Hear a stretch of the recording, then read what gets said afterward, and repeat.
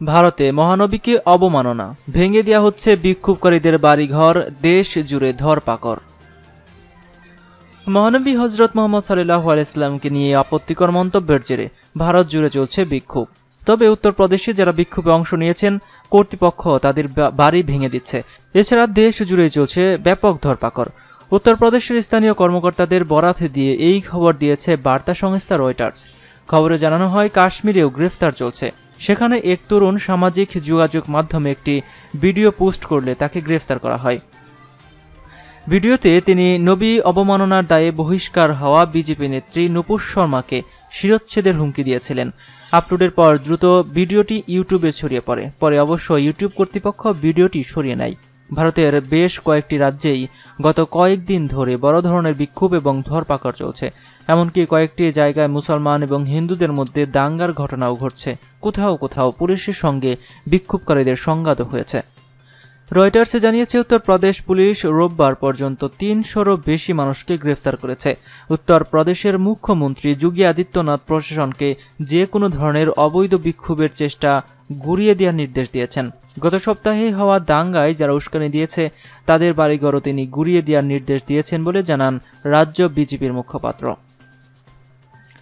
রোববার পুলিশের উপস্থিতিতে দাঙ্গায় উস্কানি দেওয়ার অভিযোগে এক ব্যক্তির বাড়ি গুড়িয়ে দেওয়া হয়। ওই ব্যক্তির মেয়ে একজন মুসলিম অধিকার আন্দোলন কর্মী। ওই রাজ্যের আরও দুই বাসিন্দার বাড়িও প্রশাসন ভেঙে দিয়েছে। তাদের বিরুদ্ধে অভিযোগ, গত শুক্রবার জুমার নামাজের পর তারা পাথর ছুঁড়েছিলেন।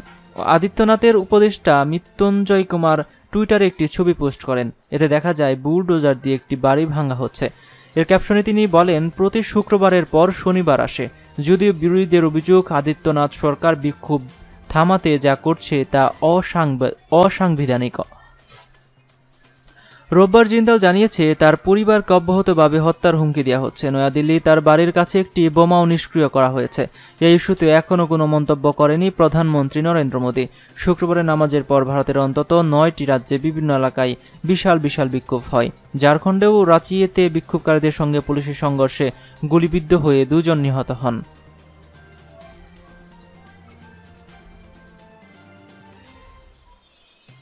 অন্যদিকে, সমকামীদের অনুষ্ঠানে হামলার পরিকল্পনা, যুক্তরাষ্ট্রে গ্রেফতার একত্রিশ জন।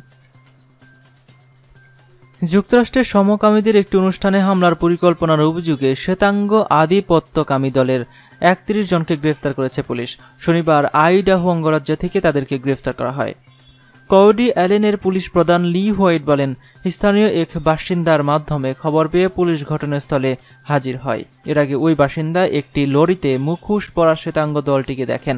দলটি দাঙ্গা হাঙ্গামা করতে শহর এসেছিল জানিয়ে পুলিশ প্রধান বলেন, লরিতে হামলায় ব্যবহার্য সামগ্রী এবং একটি ধোয়া সৃষ্টিকারী গ্রেনেড পাওয়া গেছে। লরিটি সমকামীদের অনুষ্ঠান স্থলের পাশেই থামানো হয়েছিল।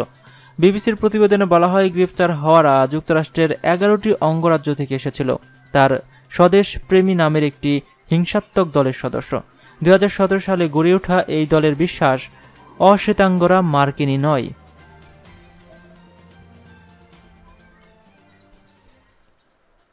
আজকের মতো এই পর্যন্তই ছিল। ভিডিওটি সম্পর্কে আপনাদের মতামত অবশ্যই কমেন্ট বক্সে কমেন্ট করে জানাবেন।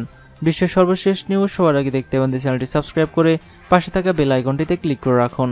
এতক্ষণ সাথে থাকার জন্য ধন্যবাদ সবাইকে।